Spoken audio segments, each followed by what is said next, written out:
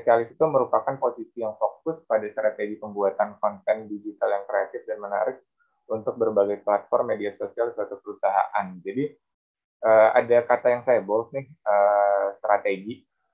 Nah, jadi uh, idealnya sosial media spesialis itu uh, ranahnya fokus pada strategis gitu.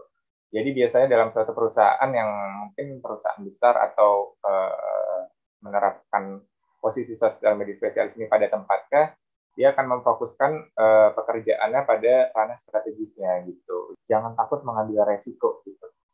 Jadi uh, kalau teman-teman uh, belum punya misalnya belum punya uh, uh, apa namanya peralatan-peralatan yang mendukung perlengkapan yang mendukung misalnya teman-teman uh, uh, mau mengembangkan konten-konten uh, di Instagram atau di YouTube itu jangan ragu-ragu uh, untuk menginvestasikan apa yang teman-teman punya uh, untuk uh, apa namanya membeli alat-alatnya gitu. Biasa orang takut ah uh, gue ngapain beli laptop mahal-mahal atau beli kamera mahal-mahal?